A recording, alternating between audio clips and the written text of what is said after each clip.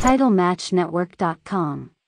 See, I broke in like when I was in Kansas City and stuff like that. I was doing jobs for guys like Rufus R. Jones, who was probably sixty then, and I was jacked up about two ninety. And, and Rufus would beat me with two freight trains and a headbutt, you know, two tackles Yeah. and a headbutt, and it took him six seconds to get down and cover me. So I knew early on it was fake. I I always knew it was fake. I never had a problem with that. And I used to get in trouble in WCW for doing jobs for guys. Like in fact, I did. We were uh, I wrestled Chris Jericho in the Spectrum in Philly, and it was it was leading into a match against me against Lex Luger at Halloween Havoc, and Larry Zbyszko was going to be the special referee, and Larry was announcing on Nitro that night. So Bischoff told me to just go out there, squash Jericho, keep hitting him with your finish until Zbyszko comes to the ring, square off with Zbyszko, you know, get something, get what you can out of it, then roll out of the ring.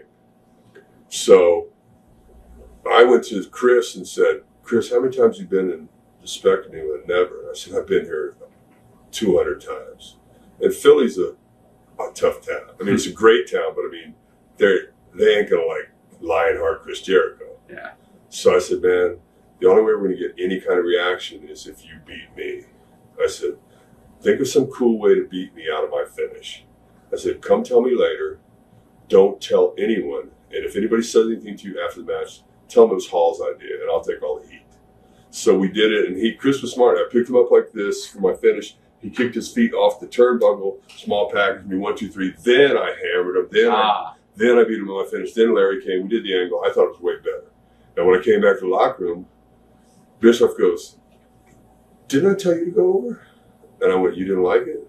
Yeah, but didn't I tell you to go over? I said, You tell me you didn't like what I just did? I'm not saying I didn't like it because Bischoff and me used to, he, you know, we, we had a crazy relationship. But he said, I didn't say I didn't like it, but I thought I told you to go over. I said, Man, I just thought it was my job to make this segment as entertaining as I could. yeah. Oh, just never mind. You know?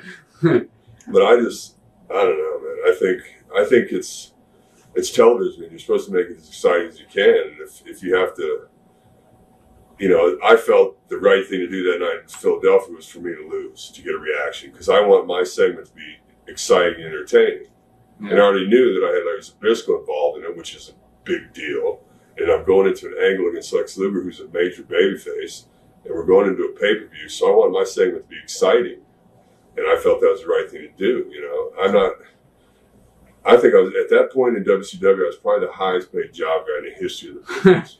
Did Roddy Piper try and uh, go after you guys and try and fight you guys after a match one night?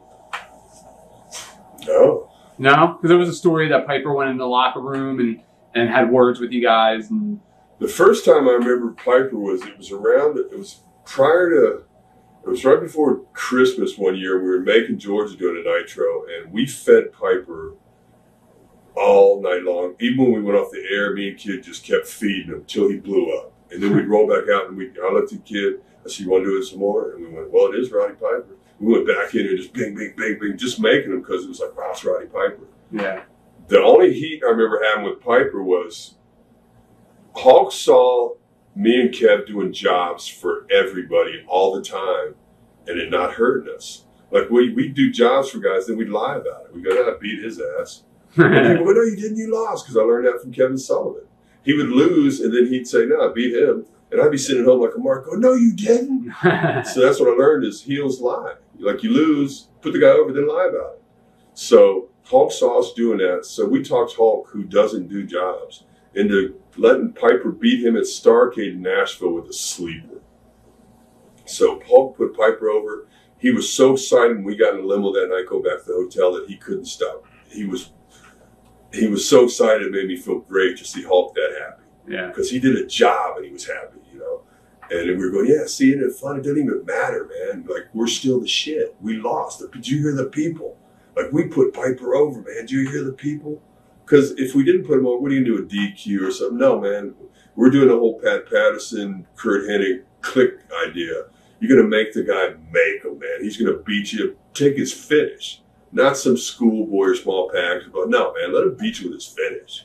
So the only remember friction I had was when it came time for Piper to put Savage over in San Francisco at SuperBrawl one time, they had to do the, you know, he wouldn't he wouldn't take the elbow drop. You know, he had to uh, get hit with the tape, you know, the brass tape, Mm. the brass tape knuckles. And I remember standing in the, I was me and Hulk were standing in the hotel bar, and Piper and Bischoff were standing at another little table, and I was buzzing and I was pissed off, and I with Piper all night. I said, "Hey, Piper," I said, "What's that tape do? Man, What's it give you a rash or something?" I said, "You're too fucking much." I said, "Hulk puts you over, and you won't put Savage over." I said, "I used to respect you. I thought I think you're a jabroni." I said, "I can't believe you, man. What is it real? What are we too close to Portland?" I mean, I just went on and on and on. And the one thing I remember was Bischoff looking at me going, stop it, stop it. and, uh, and, and Hogan tell me later, he goes, wow, brother, no one's ever stuck up for me before. You know, because Hulk was always the man, so no one was ever watching his back, you know. yeah. I said, you know, Hulk does a job for you. You won't do a job for Savage? I said, I don't get it, man. I said, what makes you so special? You know, I just totally, I don't know. I remember the, going into that angle, they did a thing that were Piper stayed in Alcatraz for a week because the pay per view was in San Francisco at the Cow Palace. And I said, I said, wow, you must have been real popular at Alcatraz. I said, bet you got a lot of candy bars and cigarettes you here.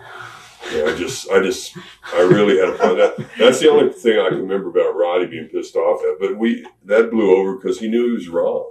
Yeah. But I don't remember him ever coming after us because if he'd have come after us, he'd got his ass kicked. TitleMatchNetwork.com.